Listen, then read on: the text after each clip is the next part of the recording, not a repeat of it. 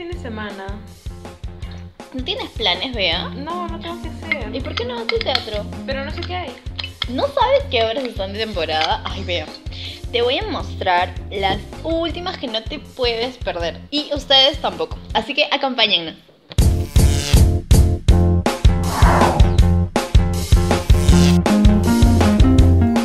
La obra cuenta la historia de un publicista que llega al salón Belleza y Estilo y junto con los encargados busca sacar adelante este negocio. Él viene con un solo interés, conseguir plata. Tiene que pagarse la universidad y, y encima tiene que este, pagarse el alquiler. La historia se desarrolla entre locuras, discusiones y momentos divertidos. Sin embargo, el factor económico desatará una serie de secretos que harán que cada actor luche para que la peluquería no quede en quiebra.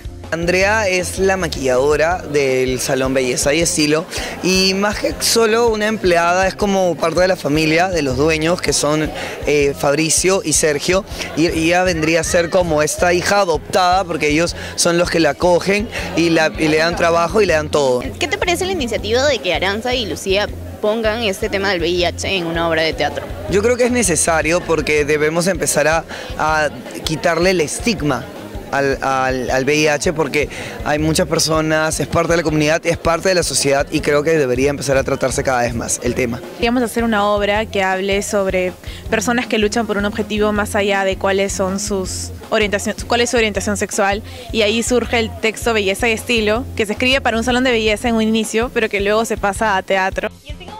Te no la puedes perder porque está muy buena. Me ha encantado. ¿Y cuál es la otra recomendación? Dios mío, eso te va a encantar porque está el super archi mega actorzazo que es Emanuel Soriano. Me muero. Se que Habrá que verla, ¿no? Sí, se llama Tebas Land.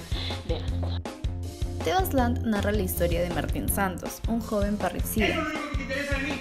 Sí, y lo que más te interesa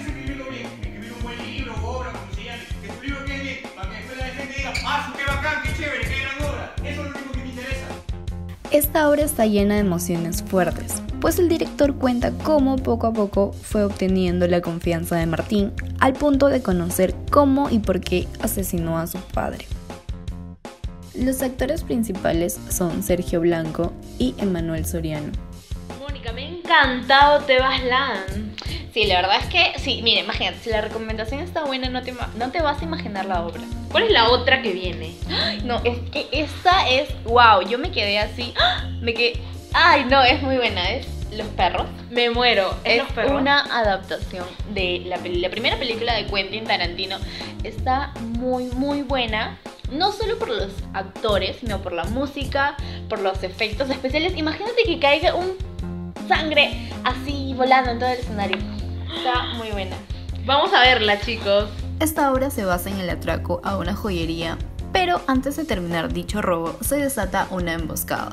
¿Quién será el traidor? El personaje es Eddie Cabot, el hijo de Joe, el jefe de esta organización criminal, de estos mafiosos. Mi personaje es el señor Naranja. eh, soy un policía infiltrado y estoy metido en una, en una situación muy riesgosa en la que me acaban de disparar y me estoy muriendo de un balazo en el estómago. Me propuse darle un peso particular, sentía que era una persona este, plantada, ¿no? no era un personaje ligero, eh, físicamente hablando. Eh, también que hable de una manera particular, que me resulte a mí divertida y, y también acorde con, con la obra, ¿no? Primero actuábamos sin los, sin los líquidos o sino con, agua, una cosa así, pero cuando empezó a llegar la sangre y era todo meloso y todo manchado, era como muy divertido, no podías agarrar nada, los dedos se te pegan, pones así como, quieres fumar un cigarro y se te pega acá. Te sientes muy tonto, ¿no? Y ah, se crean algunas situaciones estúpidas.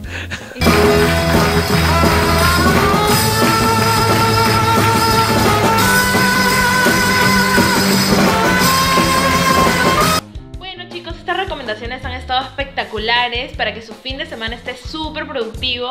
Súper recargado de obras para que vayan al teatro y la verdad es que se van a divertir y entretener un montón. Así que no se pierdan ni una. Chequen este video y nuestro próximo video. Sí, y denle like y compartirle aquí abajo. Chao. Chao.